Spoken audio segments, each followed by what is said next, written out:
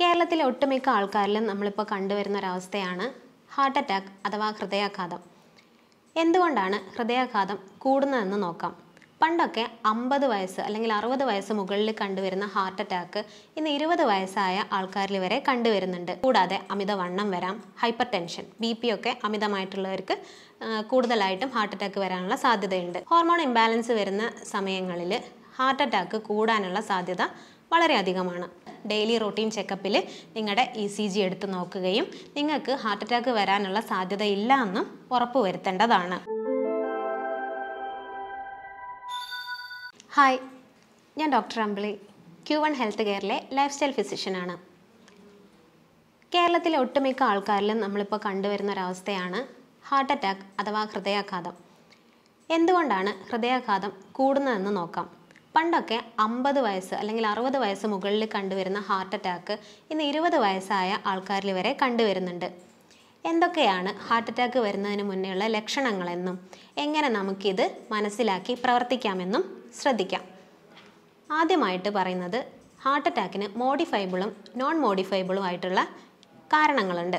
എന്തൊക്കെയാണ് മോഡിഫൈബിൾ ആയിട്ടുള്ള കാരണങ്ങളെന്ന് നോക്കിയിട്ടുണ്ടെങ്കിൽ അത് ആദ്യം വരുന്നത് ഡയബറ്റിസ് മിൽറ്റസ് ആണ് കൂടാതെ അമിതവണ്ണം വരാം ഹൈപ്പർ ടെൻഷൻ ബി പി ഒക്കെ അമിതമായിട്ടുള്ളവർക്ക് കൂടുതലായിട്ടും ഹാർട്ട് അറ്റാക്ക് വരാനുള്ള സാധ്യതയുണ്ട്. കൂടാതെ നിങ്ങൾക്ക് പുകവലി അല്ലെങ്കിൽ മദ്യപാനശീലം അമിതമായിട്ടുള്ള ആൾക്കാരിലും ഹാർട്ട് അറ്റാക്കിന്റെ സാധ്യത കൂടുതലായിട്ട് കണ്ടുവരുന്നുണ്ട്. ഇനി നോൺ മോഡിഫൈബിൾ ആയിട്ടുള്ള കാരണങ്ങൾ എന്തൊക്കെയാണെന്ന് നോക്കിയിട്ടുണ്ടെങ്കിൽ അതിലാദ്യം വരുന്നത് നിങ്ങൾ പ്രായമായവരിലൊക്കെ ചിലപ്പോൾ ഹാർട്ട് അറ്റാക്ക് വരാനുള്ള സാധ്യത കൂടുതലാണ്. ഇനി നിങ്ങൾ മെനാപ്പോസൽ ഏജിലുള്ള സ്ത്രീകളായിക്കോട്ടെ. ആർത്തവ വിരാമത്തിന് ശേഷം സ്ത്രീകളിൽ ഈ ഹോർമോണിന്റെയൊക്കെ വ്യതിയാനങ്ങൾ സാധാരണയായി കണ്ടുവരുന്നുണ്ട്. അതായത് ഹോർമോൺ ഇംബാലൻസ് വരുന്ന രീതിയാണത്. ഹോർമോൺ ഇംബാലൻസ് വരുന്ന സമയങ്ങളിൽ ഹാർട്ട് അറ്റാക്ക് കൂടാനുള്ള സാധ്യത വളരെ അധികമാണ്. ഇനി അടുത്തതായിട്ട് പറയുന്നത് നിങ്ങൾക്ക് പാരമ്പര്യമായിട്ട് അതായത് അച്ഛനോ അമ്മയ്ക്കോ ഒക്കെ കുടുംബത്തിൽ മുതിർന്നവർക്ക് ഉണ്ടായിരുന്നെങ്കിൽ അത് കുട്ടികളിലേക്കും വരാനുള്ള സാധ്യത അധികമാണ്. ഇത് നമുക്ക് എങ്ങനെ കൺട്രോൾ ചെയ്യാമെന്നുള്ളത് നോക്കാം. ആദ്യമായിട്ട് ഹൃദയാഘാതം അഥവാ ഹാർട്ട് അറ്റാക്ക് എന്താണെന്ന് നോക്കാം. നമുക്കറിയാം നമ്മുടെ ഹൃദയം നമ്മൾ ജനിക്കുന്നത് മുതൽ പ്രവർത്തിച്ചു തുടങ്ങുന്നുണ്ട്. കൂടാതെ എന്താണ് ഇതിന്റെ ഫങ്ഷൻ ഹൃദയത്തിന്റെ മെയിൻ ആയിട്ടുള്ള ഫങ്ഷൻ നമ്മുടെ ശരീരത്തിന്റെ എല്ലാ ഭാഗങ്ങളിലേക്കും രക്തം പമ്പ് ചെയ്യുക എന്നുള്ളതാണ്. നമ്മുടെ ശരീരത്തിന്റെ എല്ലാ ഭാഗങ്ങളിലേക്കും ഓക്സിജനേറ്റഡ് ബ്ലഡ് സപ്ലൈ ചെയ്യുകയും അവിടെ നിന്ന് ഇംപ്യൂർ ആയിട്ടുള്ള അതായത് ഡിയോക്സിനേറ്റഡ് ആയിട്ടുള്ള ബ്ലഡ് ശേഖരിക്കുകയും അത് തിരികെ ഹൃദയത്തിലേക്ക് എത്തിക്കുകയും ആ ഹൃദയത്തിൽ നിന്ന് ഓക്സിജനേറ്റഡ് ബ്ലഡ് മറ്റ് ശരീരങ്ങളിലേക്ക് പമ്പ് ചെയ്യുകയാണ് നമ്മുടെ ഹൃദയം ചെയ്യുന്ന മെയിനായിട്ടുള്ള പ്രവർത്തികൾ. ഹൃദയത്തിന് മെയിനായിട്ട് രക്തം പമ്പ് ചെയ്യാനായിട്ട് ലെഫ്റ്റ് ആൻഡ് റൈറ്റ് കൊറോണറി ആർട്ടറികളുണ്ട് കൂടാതെ അതിന്റെ ശാഖകളും ഹൃദയത്തിന് പമ്പ് ചെയ്യുന്നുണ്ട്. നമ്മുടെ ഹാർട്ടിന്റെ സങ്കോച വികാസങ്ങളുടെ ഫലമായിട്ടാണ് പല ശരീരഭാഗങ്ങളിലേക്കും രക്തം എത്തുന്നത്. ഹാർട്ടിന് നേരത്തെ പറഞ്ഞു പ്രധാനമായും രണ്ട് ആർട്ടറികളാണ് ബ്ലഡ് പമ്പ് ചെയ്യുന്നത് ലെഫ്റ്റ് ആൻഡ് റൈറ്റ് കൊറോണറി ആർട്ടറികൾ. അതിന് കൂടാതെ അതിന്റെ ശാഖകളും ബ്ലഡ് സപ്ലൈ ചെയ്യുന്നുണ്ട്.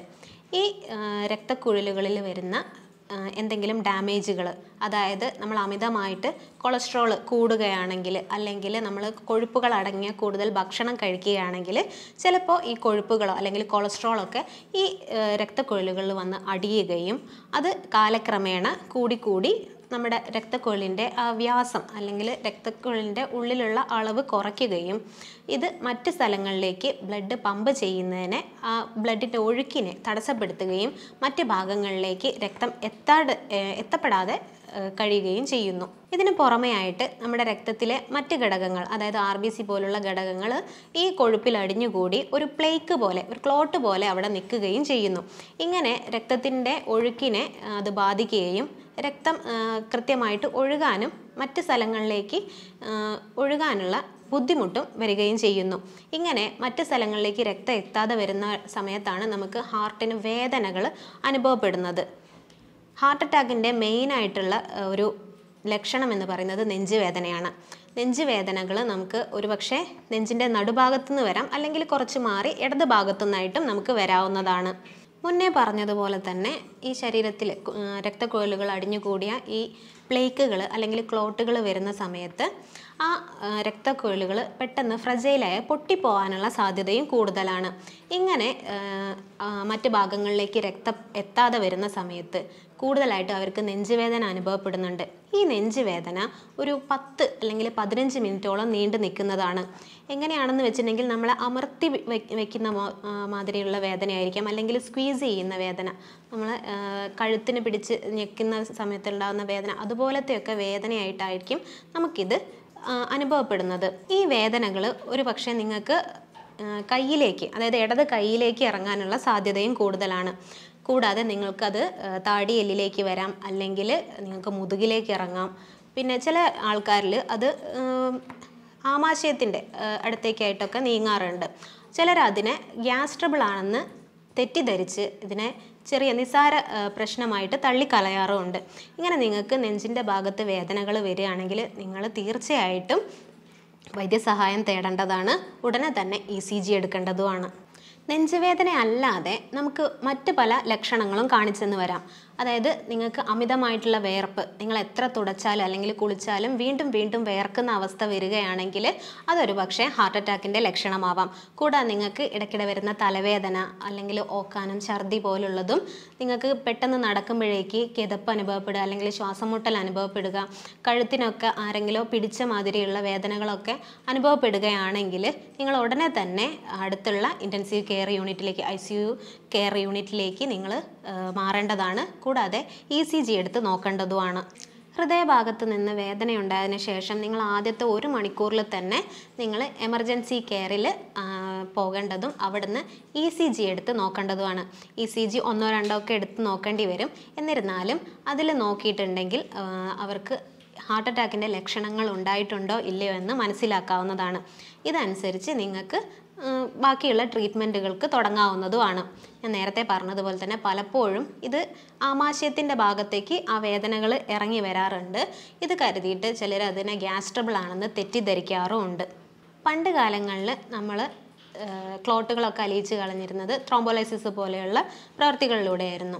ഇന്നത്തെ കാലത്ത് മോഡേൺ കാലത്ത് നമ്മൾ കൂടുതൽ അഡ്വാൻസ്ഡ് ആയതോടെ നമ്മൾക്ക് പ്രൈമറി ആൻജിയോപ്ലാസ്റ്റി പോലെയുള്ള പ്രവർത്തനങ്ങൾക്ക് ചെയ്യാനും പെട്ടെന്ന് തന്നെ നമുക്ക് ഹാർട്ട് അറ്റാക്കിൽ നിന്ന് മുക്തി നേടാനും സാധിക്കുന്നുണ്ട്.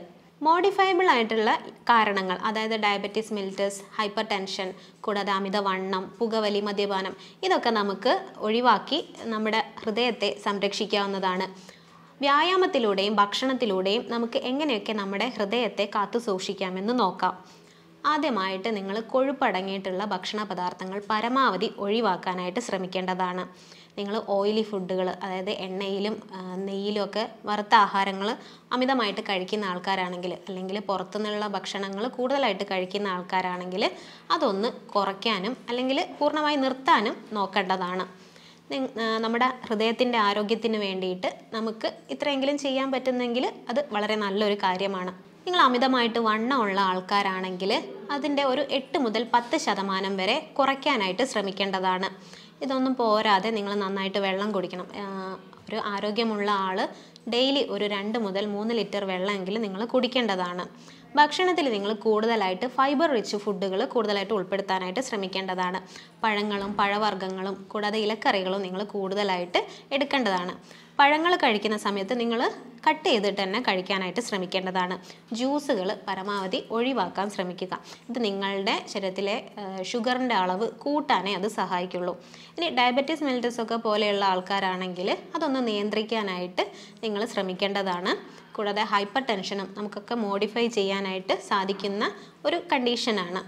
കൂടാതെ നിങ്ങൾ പുകവലി അല്ലെങ്കിൽ മദ്യപാനം ഒക്കെ ചെയ്യുന്ന ആൾക്കാരാണെങ്കിൽ അമിതമായിട്ട് പുകവലിക്കുന്ന ആൾക്കാരാണെങ്കിൽ പുകവലി നമ്മുടെ ഹാർട്ടിന് തീരെ യോജിക്കാൻ പറ്റാത്ത ഒരു അവസ്ഥയാണ്.